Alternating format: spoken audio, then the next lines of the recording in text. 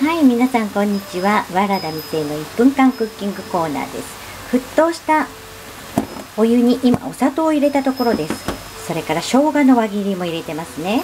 そして処理をした下処理をしたこのイワシをポンポン入れてきます。一度洗ってます。今日はスーパーでこのお腹ももう最初から取ってある綺麗なイワシが見つかったのでね。これを煮物にします。